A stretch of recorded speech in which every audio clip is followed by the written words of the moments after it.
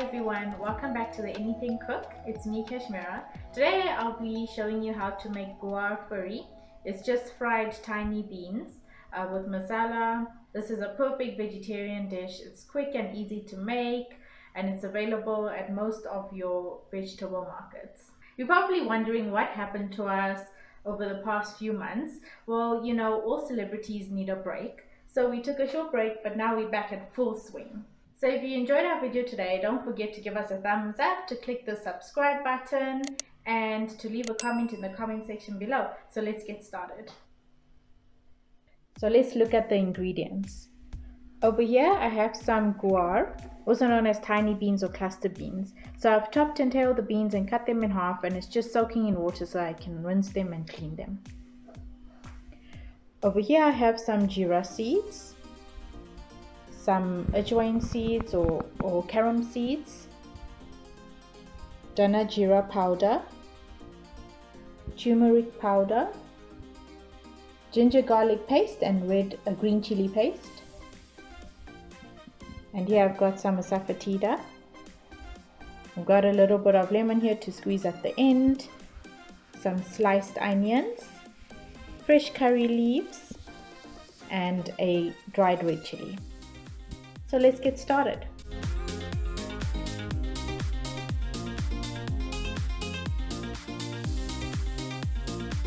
Okay, so I have a pan here, a non-stick pan on the stove. I'm using non-stick so that I don't have to use a lot of oil. The less oil, the better.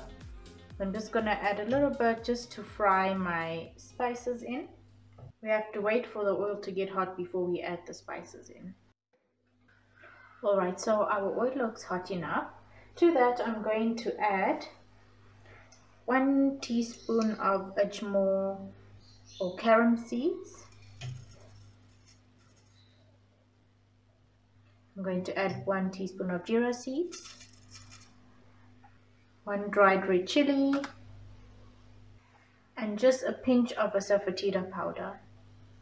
Okay, so we're just going to allow this to fry until it becomes fragrant and the chili just starts to turn a little bit black but it mustn't burn or else it's going to taste bitter okay so my spices have been frying here on a medium heat for just under a minute. If I turn over the chili you actually see that it's darkened a bit and you know now it's ready you can smell the fragrance of the the seeds and the spices. So now we are ready to add the onions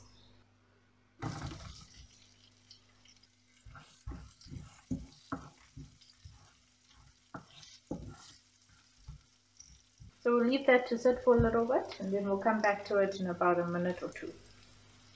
The onions have been frying for about three minutes. They're now translucent, just about to turn brown and soft. So now, you know, we are ready to add the beans. So here are my tiny beans. I've washed them and rinsed them. So I'm just going to add it to the pan.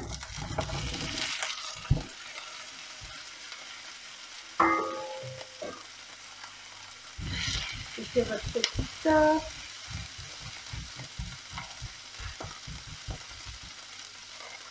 I'm adding one spoon of curry leaves, one teaspoon of garlic ginger paste, and about half a teaspoon of green chili paste. You can add um, as much green chilies or red chilies as you want to, according to taste.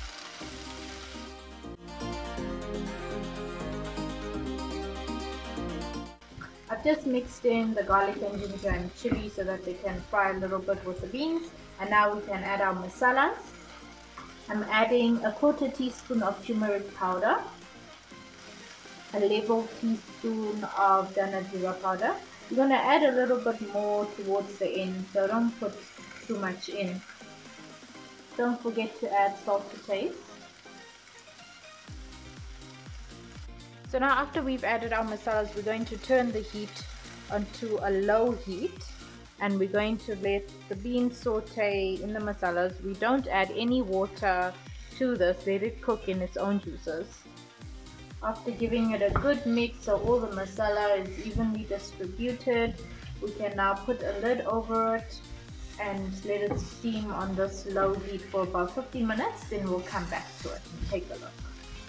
Cooking times may vary depending on the freshness of the beans but you'll know it's ready when the color becomes much more dull and darker and they look a bit more shriveled. So let's cover this and leave it for 15 minutes. Okay, so our beans have been steaming on a low heat for about 15 minutes. So I'm just to take a look at it. So you can see now the color has changed from a bright a green hue to a more dull, darker green color. So it's almost done. I think we need to leave it for another 15 minutes. Just give it a stir so that it doesn't stick to the bottom. If you cook it on a low heat, it's easier to keep an eye on because it doesn't burn as fast and it allows the the beans to cook in their own juices. This goes with most Indian vegetables.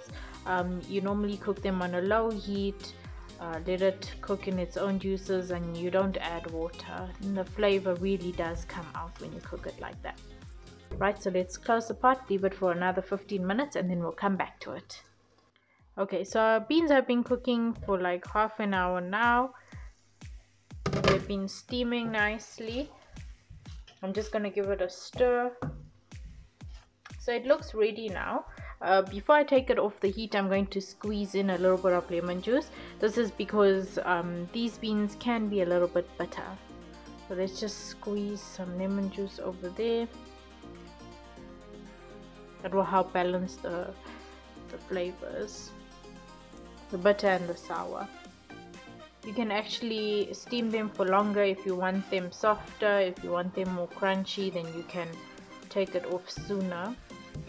I like mine soft. So I'm going to remove it off the heat now and then we are ready to serve.